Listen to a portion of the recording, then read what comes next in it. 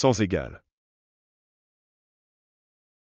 Sans égal est une expression qui signifie qu'il n'y a rien de comparable ou de similaire à quelque chose. Elle est souvent utilisée pour parler de quelque chose ou de quelqu'un qui est unique ou d'une qualité exceptionnelle. Voici quelques exemples pour mieux comprendre l'usage de cette expression. Sa beauté naturelle est sans égale dans cette ville, cela signifie qu'elle est la personne la plus belle de la ville, sans qu'il y ait personne d'autre qui puisse rivaliser avec elle. La qualité de leur service est sans égale, cela signifie que leur service est d'une qualité exceptionnelle, et qu'il n'y a pas d'autre service comparable en termes de qualité. Sa connaissance de la musique classique est sans égale, cela signifie que sa connaissance de la musique classique est unique et qu'il n'y a personne d'autre qui a une telle connaissance.